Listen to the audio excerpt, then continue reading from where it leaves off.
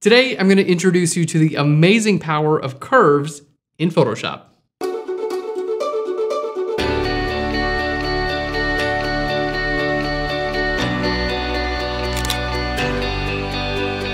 Hello and welcome to Phlearn. My name is Aaron Nace. You can find me on phlearn.com where we make learning fun. And in today's episode, we're gonna introduce one of the fundamental tools for editing your photos in Photoshop. It's called Curves, and for those of you who are just beginning in Photoshop, you're gonna see this is one of those tools that will make a huge difference in any one of your images. Curves can be used to lighten or darken any part of your image, and they can be used for color correction as well.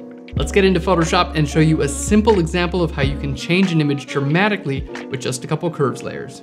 Here's our image for today. You can download this on phlearn.com. Just follow the link right down below. To start off, we're gonna go up here to Layer, down to New Adjustment Layer, and over to Curves. Let's hit OK there. And our curves dialog basically has the information of our image. This is called a histogram with your dark information being on the left and your light information being on the right. Now, if you take this center point and simply click and drag up, you're gonna lighten your whole image. If you drag this down, you're gonna darken your entire image. Now, the great thing about these curves adjustment layers is they always come with a layer mask. So let's say I wanna brighten, you know, this area where my subject is inside of this like doorway, I just wanna brighten that up. So let's go ahead and just drag that a little bit brighter. There we go. But now, if I turn this layer off and on, you can see it affects my entire image, which I don't necessarily want. So I'm gonna click on my layer mask, and we're just gonna fill this with black, which is gonna make this curves adjustment layer invisible. We'll go to Edit, down to Fill, and I'm just gonna choose black.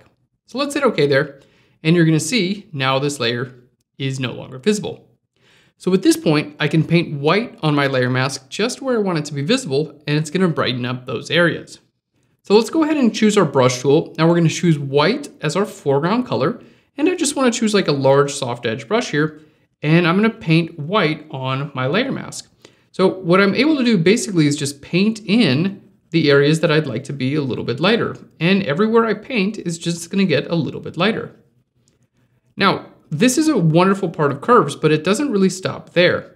For instance, if I double click right here, I can actually make those areas even brighter, or I could decide to make them darker as well. So you can choose which areas you'd like to affect and then always change their light levels after the fact. Let's go ahead and turn that layer off and on so you can see the difference. Here's our before and the after. So adjusting your lights and darks is one of the basic principles of using curves. You can also use curves to adjust your colors. Let's start by creating another curves adjustment layer. We'll go to layer, down to new adjustment layer, and over to curves. We'll hit okay. And this time in our little drop down window here, we're gonna click and you can see we have the option to change our reds, greens, and blues. And for instance, let's go to our red channel. If I click here in the middle and drag that up, you're gonna see it's gonna add more red into my image. And if I go down, it's gonna add the opposite color, which is cyan. So red and cyan are both available in the red channel. The green channel is going to be green and magenta. There we are. And our blue channel is going to be blues and yellows. So let's say we want to make this image just a little bit warmer. I'm going to go to my blue channel and click and drag down just a tiny bit and you can see it's going to add yellow. Now if you go too far down, it's not going to look realistic, but we're just going to go down just a little bit. That's going to add some yellows. And then we're going to go to our red channel and I'm gonna drag this up a little bit, which is gonna add some red.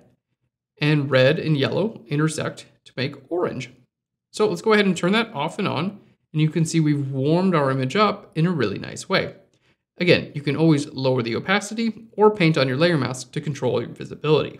And there you have it. Let's go ahead and take a look at our before and after. Here's our before and the after. So you can see curves are incredibly powerful and easy to use. And if you're ever not sure where to start with your photo editing, curves are a great place. Thank you so much for watching this tutorial. If you enjoyed it, give us a big thumbs up and hit that subscribe button. We'll send you free tutorials every single week. Thanks again. I'll you later.